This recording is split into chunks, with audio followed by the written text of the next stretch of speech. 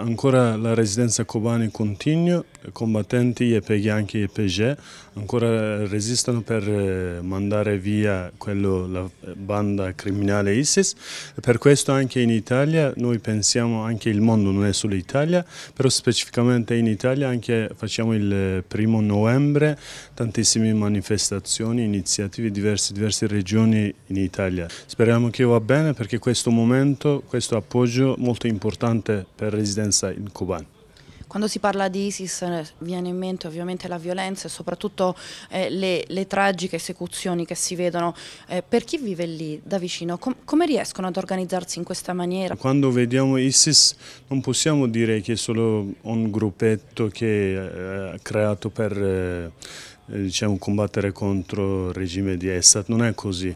Prima anche era così, adesso invece il contrario, già eh, loro eh, controllano un parte di Siria, un parte di Iraq.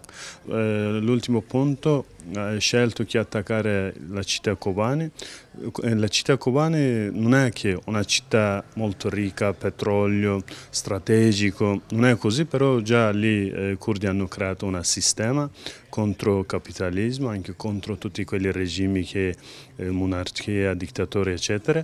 Dove riescono a trovare così tanti soldi per organizzarsi? Eh, non sappiamo ancora continuo quello finanziamento, appoggio o no, però eh, prima avevano una, un appoggio molto forte, abbastanza un finanziamento e logisticamente anche Turchia sempre ha appoggiato tanti militanti di ISIS da Occidente specialmente sono passati su Turchia e in Siria.